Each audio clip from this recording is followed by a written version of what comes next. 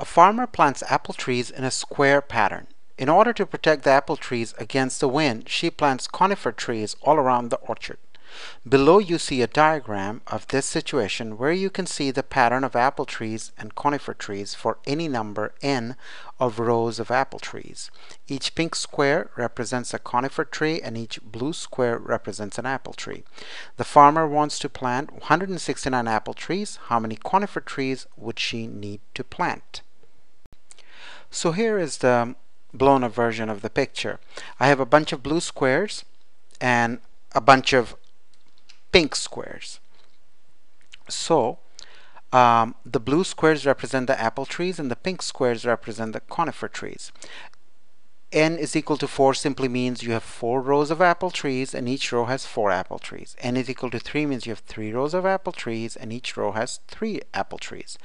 N is equal to 2 means you have 2 rows of apple trees and each row has 2 trees. n is equal to 1, 1 row and 1 apple tree per row.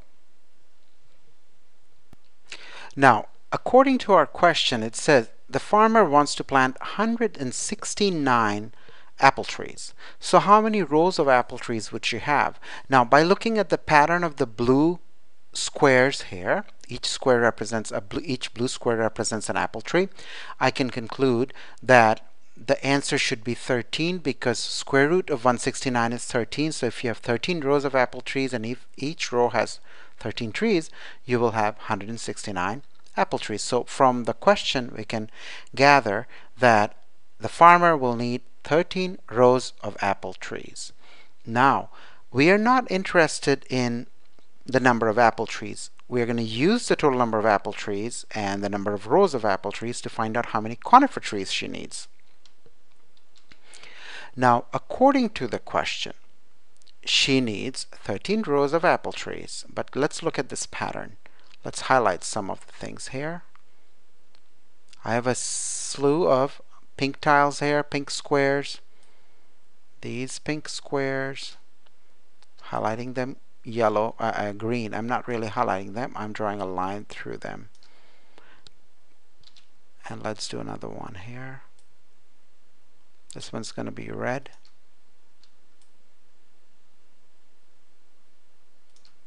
red, red, and red. Let's try a blue here. Blue, blue, blue, and one more blue. Then we're going to try orange right here.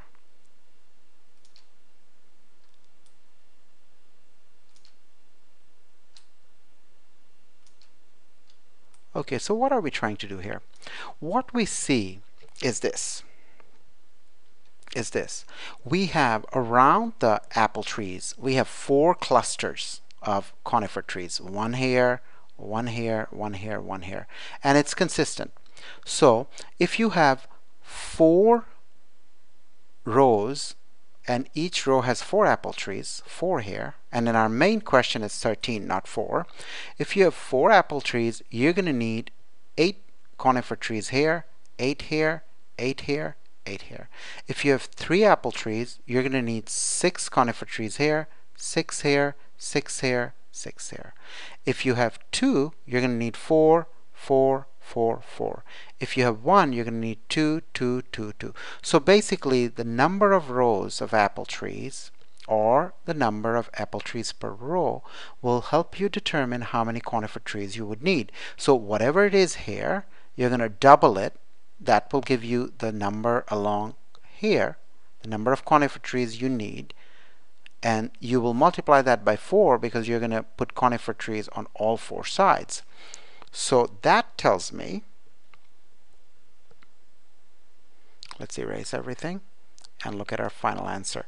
So we're concluding that if you have, uh, now if you, if you want to visualize uh, 13 by 13 array of blue squares, blue squares represent apple trees.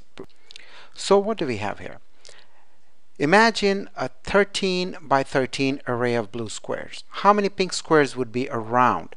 Well, on each side, you're going to have 26 pink squares here 26 pink squares here 26 pink squares here 26 pink squares here and 26 pink squares here. So if you have 13 let's try blue if you have 13 uh, apple trees here 13 apple trees here 13 apple trees here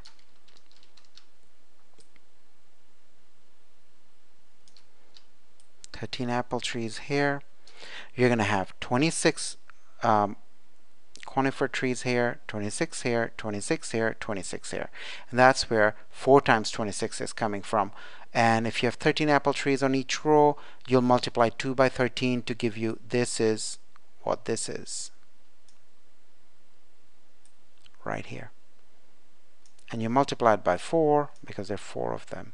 And the final answer will be 104.